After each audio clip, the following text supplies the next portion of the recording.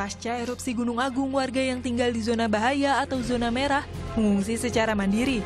Mereka mengungsi ke desa yang masuk zona aman.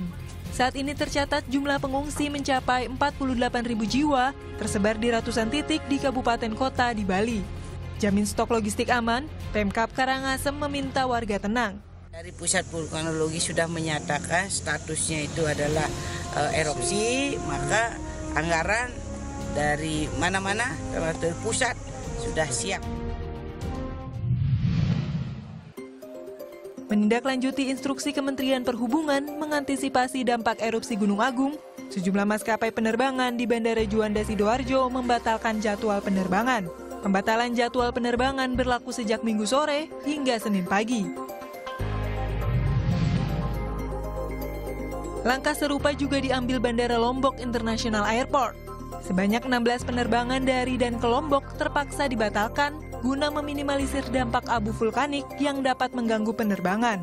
Tidak diketahui hingga kapan notam penutupan sementara bandara diberlakukan. Namun beberapa penumpang tetap memilih bertahan di bandara untuk kembali ke daerah asal. Satu bulan tidak terdengar, pelang depan Hotel Alexis, Jalan R.E. Marta Dinata, Jakarta Utara, telah dicopot dan diganti menjadi Foreplay. Foreplay merupakan nama bar dan karaoke yang ada di lantai satu hotel. Namun pihak Alexis membantah mereka telah berganti nama.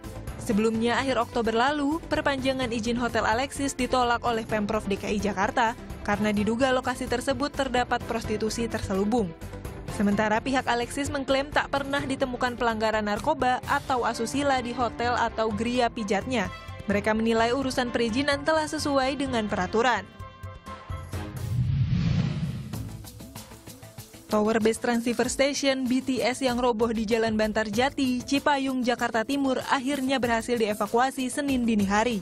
Jalan yang sebelumnya sempat terhalang tower kini bisa dilintasi kembali. Garis polisi pun sudah dilepas. Pemilik tower BTS berjanji akan bertanggung jawab, termasuk merenovasi rumah yang tertimpa BTS. Untuk sementara waktu, warga yang rumahnya rusak akan dipindahkan ke rumah lain. Mereka ini yang sekarang yang rumahnya ketimpa tower itu dikontrakin di perumahan Print Kopi. Print Kopi. Sekarang dikontrakin sementara sampai rumah ini selesai. Diperbaiki, ditanggung jawab oleh orang-orang Telkom. Sebelumnya pada minggu siang, sebuah tower base transceiver station BTS setinggi 30 meter di Jalan Bantarjati, Cipayung, Jakarta Timur roboh karena hujan disertai angin kencang. Tower menimpa satu bangunan berisi tiga keluarga. Tidak ada korban jiwa dalam kejadian ini.